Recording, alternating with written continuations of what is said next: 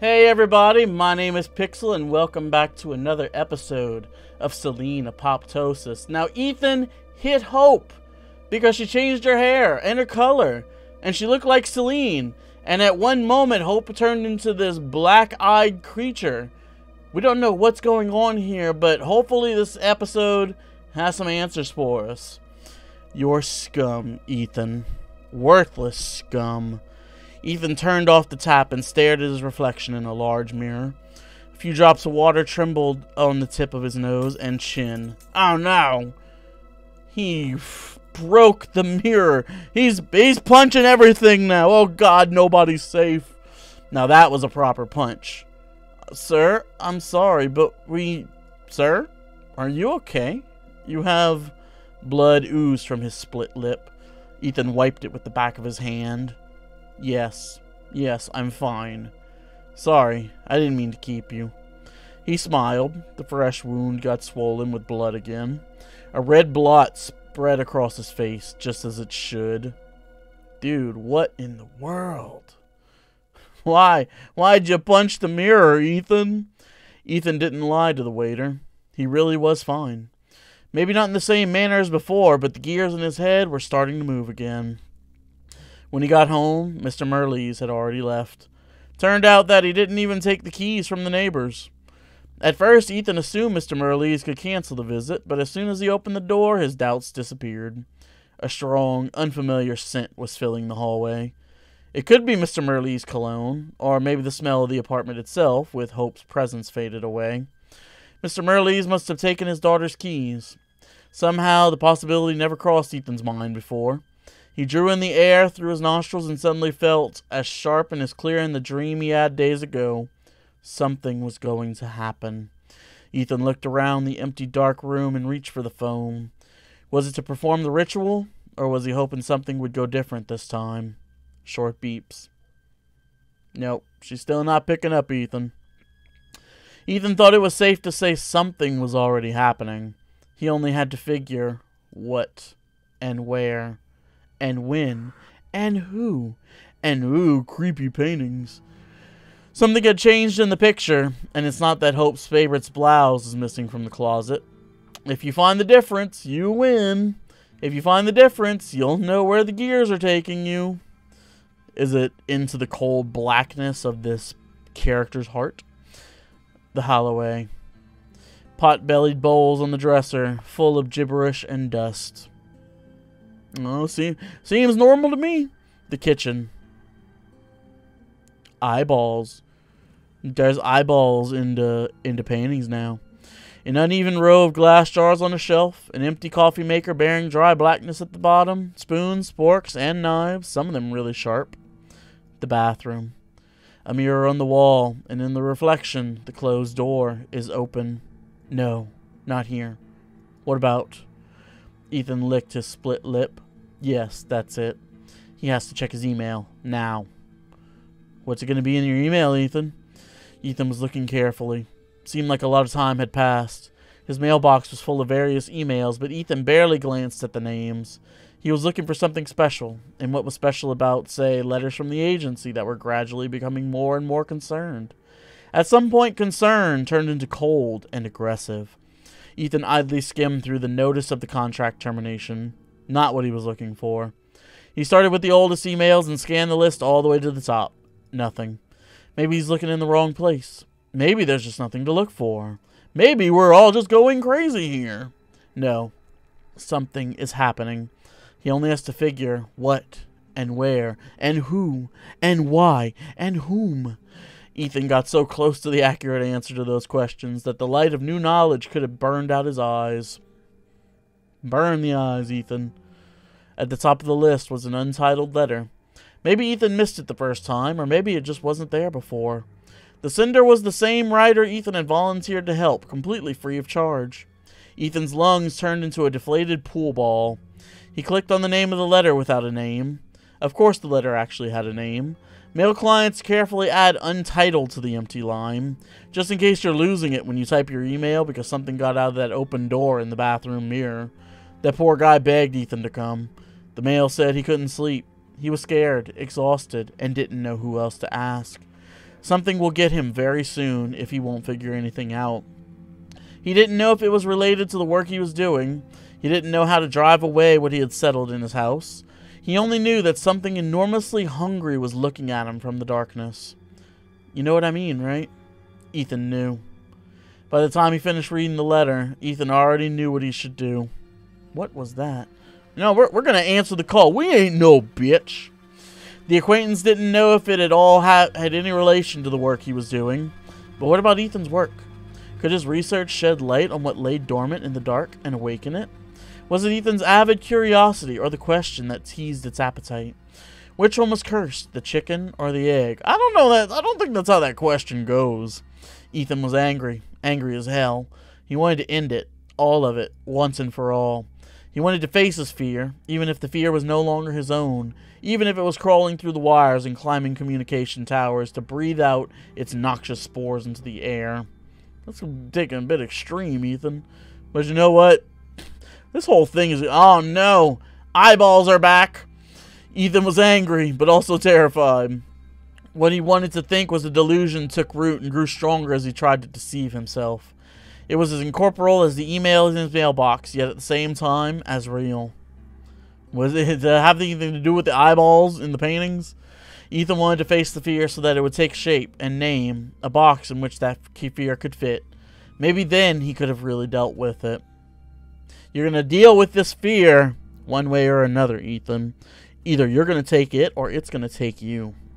That's why when Ethan got behind the wheel of his old sedan, he wasn't doing it for the rider who was tormented by shadows. He was doing it for himself. Where are we going, Ethan? Huh? In the email, the acquaintance described in detail how to find his house and how to get inside. Too much detail, as if he had already resigned to his fate. Something would get to him very soon, and he won't figure anything out. This is just a notice, Mr. Harrison. A notice of life termination. This happens when you look into the abyss for too long. Oh no, it's an eyeball. But looking isn't enough, is it? No, looking is never enough. You shine a flashlight into it, throw stones, and whistle frantically, like a vandal who managed to get into an abandoned house and then you smash up the place. You're excited and terrified, and then only terror remains as you realize the door has slammed shut behind you and the handle won't budge. Uh oh. Ethan, I think this is that something you were waiting for. This thought made Ethan speed up, and then, just as abruptly, to hit the brakes. The wheels let out a short, hysterical shriek. The car swerved and stopped on the side of the road. The blood was pounding in his ears. Ethan's breath came in short gasps, his eyes searching blindly in the dark. After calming down a little, Ethan pretended who was, she, who was he trying to fool? The night road was empty. He was examining his navigator, but there was but not one thought in his head. Oh, really? Is it... Is it the eyeballs? Is it the eyeballs, Ethan? What is he doing? What the hell is he doing? Seems like he asked to out loud. There was no one to answer. It's not too late to turn back. Turn the car around, go back to the city, to the apartment, lie down on the sofa, and sleep, sleep, sleep until the morning comes. In the morning, he will call Hope again, and the thought was cut short. Actually, it didn't lead anywhere from the very beginning. A dead end. The truth was, he had no place or reason to go back.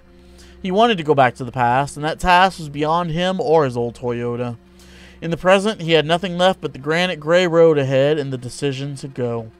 If he hurried, he might still be able to help. Who? Are we helping our acquaintance? What kind of mess is our acquaintance in, Ethan? The car slowly took off.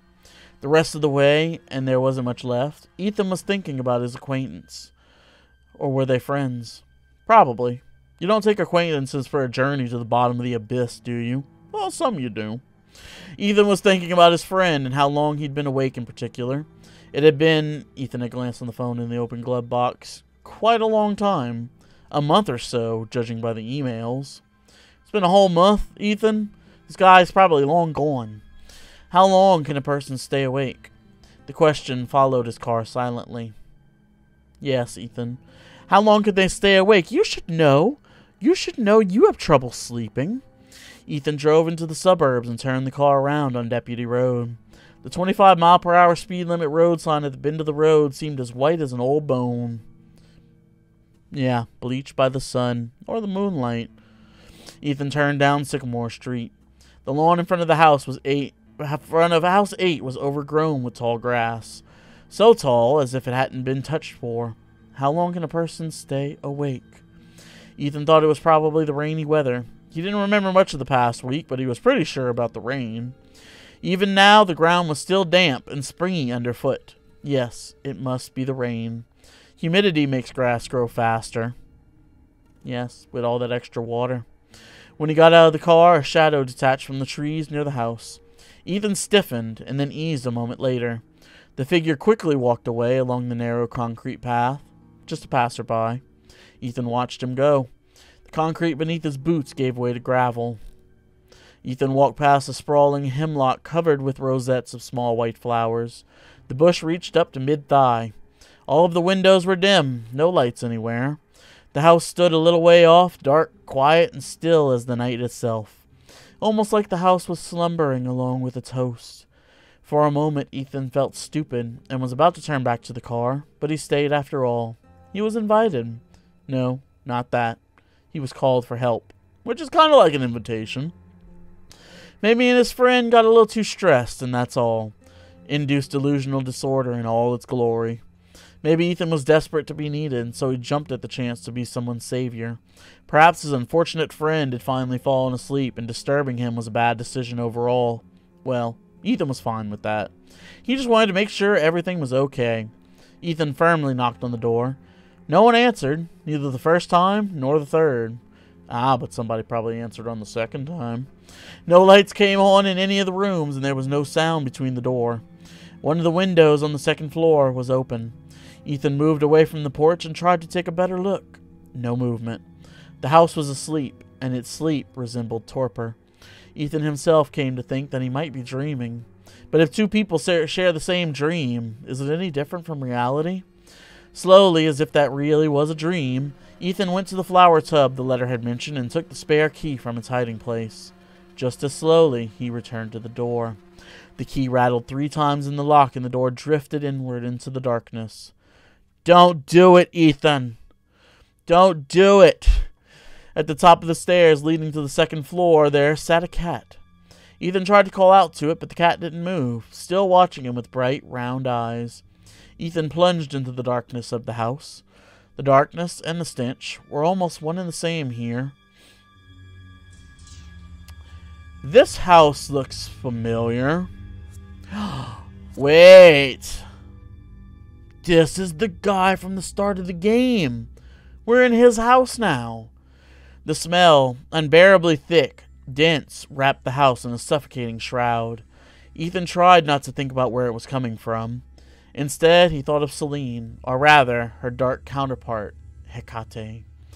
The, the ancient Greeks believed that she appears in the form of a dog, but dogs were sacrificed to her, weren't they? Better turn the light on. What are we going to find when we turn the light on?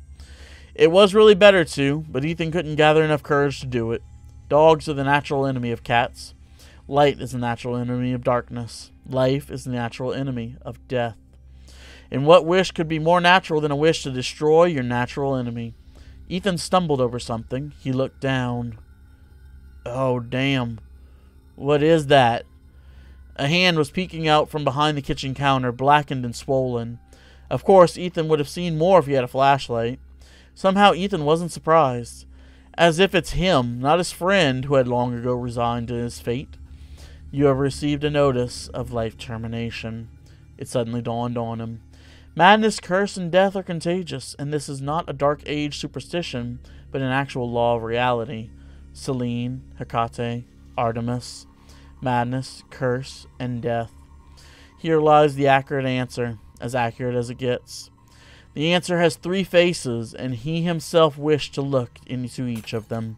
Ding! A sound of grass breaking in the hall. But it wasn't a window collapsing. The light bulbs. Someone was smashing the light bulbs with a bat, one by one. The sound was getting closer. Ethan closed his eyes. Good night.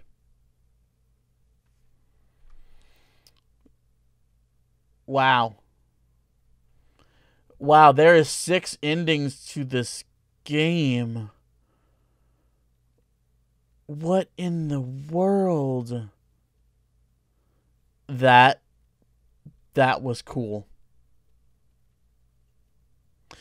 Or however, maybe there's more. Maybe we can change our fate with just one simple choice. So I'm going to leave that for the next episode, though. Who in the world was laying on the ground motionless in there? Who was that? I guess I guess we'll never really find out though, you know, unless we go for a different ending. We got ending 6 of 6. I gotta wonder what are the other endings to this game. We're not gonna do all six of them. That would be really that would be really tedious, I feel. But I'm going to leave it off right here for today, and we're going to come back to this next time. I loved what this story did. It was freaky, it was creepy, it had all the makings of a great story. Thank you guys so much for watching. If you enjoyed what you saw, feel free to like the video. You want to see more content like this, other videos I've done, follow along with this story, subscribe to the channel, hit the bell. Thank you guys again for watching. I'll see you in the next episode. Bye now.